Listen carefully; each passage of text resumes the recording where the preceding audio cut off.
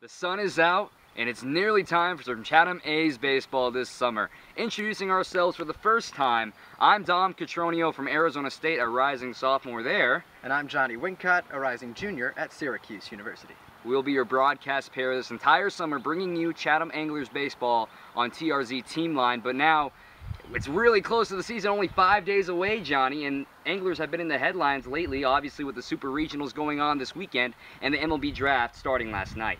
Of course, Connor Joe, the first Chatham A selected off the board at pick 36 to the Pittsburgh Pirates.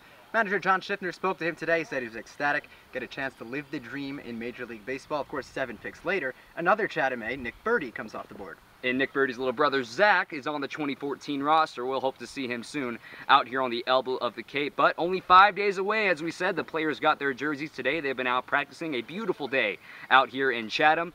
First pitch is on Wednesday night at Eldridge Park against the Orleans Firebirds, and we'll have the call for you, as well as the rest of the season. Be sure to stay here on ChathamAnglers.com and all of our social media, so we'll have more to come until opening day. Until next time, with Jonny Wincott, I'm Dominic Cotroneo. Keep on swinging.